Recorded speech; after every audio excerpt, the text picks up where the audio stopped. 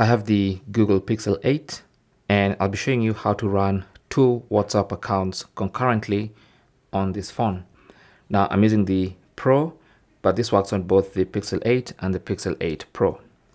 So as you can see, I already have a WhatsApp account set up and ready to go. This is a normal WhatsApp account. Now, if I want another WhatsApp account, unfortunately, on the Pixel, there's no way of duplicating apps like on Samsung. And the only workaround for this is to use WhatsApp Business. Okay, so go to the Google Play Store, search for WhatsApp Business, and install it on your phone.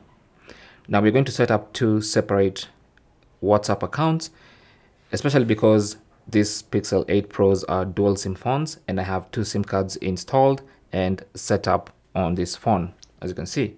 So I'm going to use one SIM card for one WhatsApp account and the other SIM card for the other WhatsApp account. Anyway, so once WhatsApp Business has installed, let's set it up with the other uh, SIM card. Okay, so let's agree and continue. Now it's going to prompt me to use the SIM card that I'm using on the other WhatsApp account so, so that I can migrate my account from the normal WhatsApp to the WhatsApp business. I don't want to do that, so I'll choose use a different number. Then it's going to ask me for permissions, of course, for notifications, contacts, all that stuff. And then it's going to ask for that other number. So I'm just going to enter it here. And then tap on next. So it says you enter the phone number that and it wants to verify. So let's go ahead and verify that phone number. Of course it's going to ask for a few permissions we're basically just setting up another whatsapp account with whatsapp business okay so nothing too complicated here allow whatsapp business to access your contacts yes yeah allow now it's going to start looking for backups. We don't want to do that because it's going to look for backups on a different, uh, or it might uh, look for backups from the other account. So you can choose restore backup if you want to, but for me, I'll just go and choose skip and skip the restore process because I want to set up a brand new WhatsApp business account.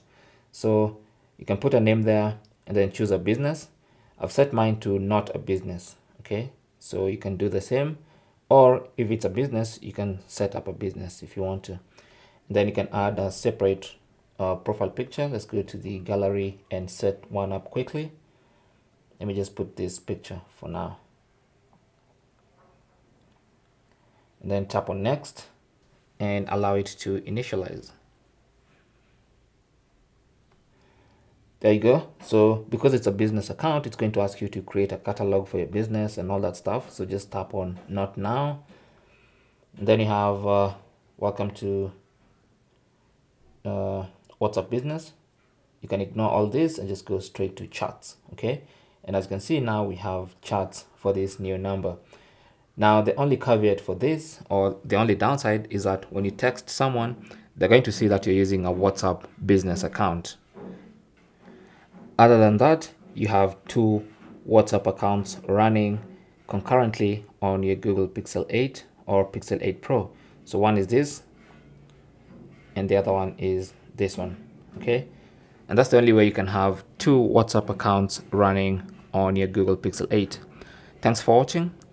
Comments and questions down below and good luck.